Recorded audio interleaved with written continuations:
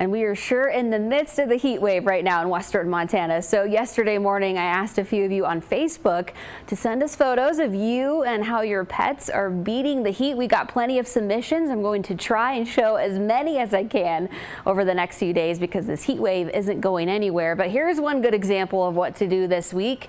Go find that cold water with a good life jacket. This photo is from Jan or Yan. I don't know which one, but thank you for sending it in with your cute pup Hazelnut.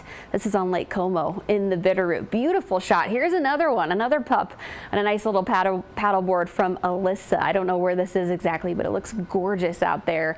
And it looks like you went out at the right time. It looks a little cooler out there. Today, though, the heat has turned up just a few degrees. We are expecting more triple digit temperatures. We hit several yesterday. Today's sort of round three, so get ready for this type of heat. Upper 90s for the Flathead Valley. Triple digit heat for Troy all the way down to Missoula, Stevensville, possibly even Hamilton today. Darby and Sula look warm as well, about 91 in Philipsburg if you want to go cool off. That's about the coolest spot we've got today. A little bit of haze possible as well. There are fires burning in Washington, Oregon, and California, bigger ones than what we've got currently here in Montana.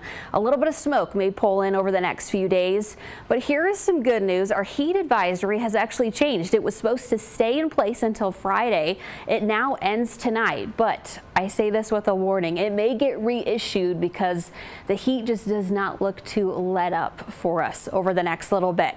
Let me show you the long range forecast here. This is what a climate prediction center is saying for July 15th through the 19th. This is the 6 to 10 day outlook below average precipitation. Now let me show you the temperatures way above average temperatures. So this is just the 6 to 10 day outlook. The 8 to 14 day outlook says the same thing. So keep this in mind that we've got to continue to take precautions against this heat.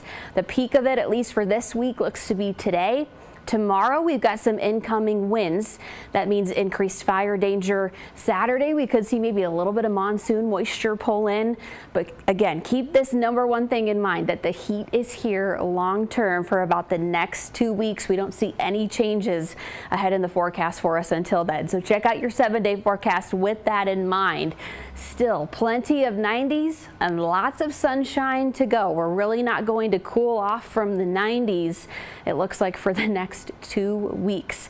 A little bit of haze again, remember out there. I'll continue to monitor air quality. We may see it uh, decrease in quality over the next few days as those winds change a little bit, but be extra careful with fire precautions as well. And in this heat, please stay cool.